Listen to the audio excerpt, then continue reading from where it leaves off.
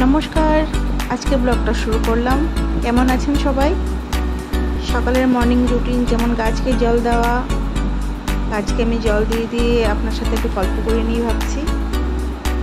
আর আমার একটা পার্সেল এসেছিল পার্সেলটা রিসিভ করলাম। দেখুন না আকাশের অবস্থা কিলোমিটার দম ধরা অবস্থা। আজকে মনে হয় বৃষ্টিই হবে। রোববারের সকাল তো, দেখছি কি হয়। আজকে কোনো একটা প্ল্যান আছে, সেখান থেকে একটু বেরোবার, চেষ্টা করব বেরোবার জন্য। আকাশটা অল্প দেখিয়ে দিই আপনাকে।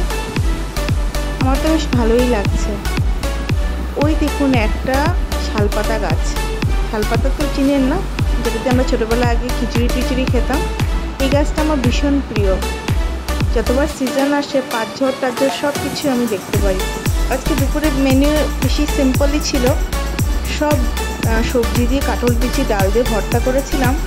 বেগুন ভাজা ছিল আর ছিল মাছের ডিমের বড়া। একদম সিম্পল খাবার। খেয়ে বেশ ভালোই লাগল। আমি আর আমার হাজব্যান্ড এটা দিয়ে আজকে দুপুরে লাঞ্চটা করে ফেললাম ঝটপট করে। সব কিছু মেখে খেতে বেশ মজাই লাগে। সেই মা ঠাকুমার কথা মনে পড়ে। দিদের বাড়ি যেতাম যখন, তখন দিদা এমভাবে মেখে মেখে আমাদেরকে খেতে দিত। বেশ মজাই লাগতো খেতে। গরমের সিজন তো এখন কাঁঠাল বিচিতে নানান রকমের আইটেম বানানো যায়। আমার কাঁঠাল বিচি সিদ্ধ বা পোড়া খেতে ভীষণ ভালো লাগে। আপনাদের কীরকম লাগে? প্লিজ আমাকে জানাবেন। বিকেলে একটু বেরিয়ে একটু হালকা ফুলকা স্ন্যাক্স খেয়েছিলাম ওর সাথে। তন্দুরি আমার ভীষণ ফেভারিট তো তন্দুরি যেভাবে দেখতে লাগে না, ভাবলাম ছোট্ট একটা রেকর্ড করে ফেলি, আপনাদেরকে দেখিয়ে দিই। এই একটা রেস্টুরেন্ট আছে আমার, যেখানে থাকি, সেটার ঠিক পাশে এখানে তন্দুরিটা ভীষণ ভালো বানায়। তো ওইখানে এসে মাঝে মাঝে আমি তন্দুরি প্রায়ই খাই। ওর আমি তন্দুরি তো আমার জন্য এখন ওরও ফেভারিট হয়ে গেছে তন্দুরি খাওয়াটা।